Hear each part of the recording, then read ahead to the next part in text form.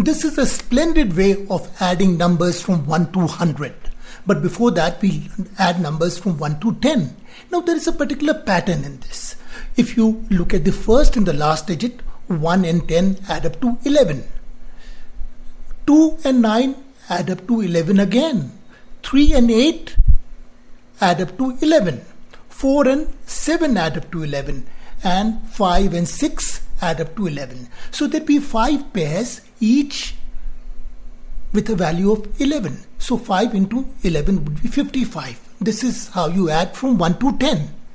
Now, this is from this is a true story from the life of Friedrich Gauss, the famous German mathematician who's famous for his bell-shaped normal distribution. When Gauss was in class 2, one day his teacher asked the class to add numbers from 1 to 100, while the other children started adding from 1 to 1 plus 2 plus 3 plus 4. Slowly they became slower.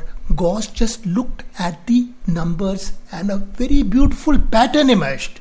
He looked at the first and the last number 1 plus 100, the addition was 101. 2 and 99, the addition again was 101. 3 and 98 added to 101, and so did 4 plus 97. And so in a jiffy, he wrote the answer he reckoned that because there are 100 numbers, there'd be 50 pairs, and each pair would have a value of 101. So 101 into 50 would be 5050. In science and mathematics, it's important to look at patterns.